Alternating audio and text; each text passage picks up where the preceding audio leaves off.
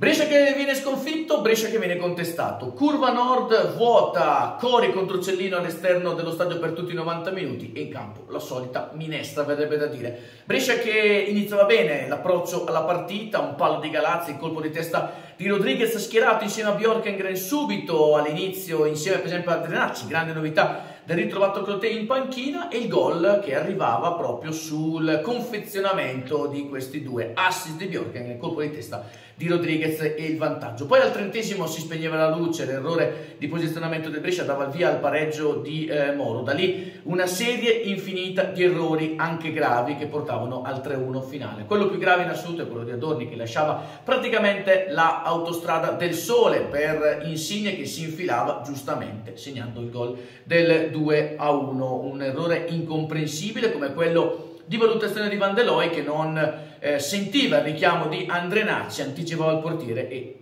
permetteva al Frosinone di segnare il gol del 3-1. Solite distrazioni, un Brescia che adesso è nel profondo rosso della classifica, due soli punti dalla zona play-out e quella con il Com diventa una delle gare più importanti della stagione.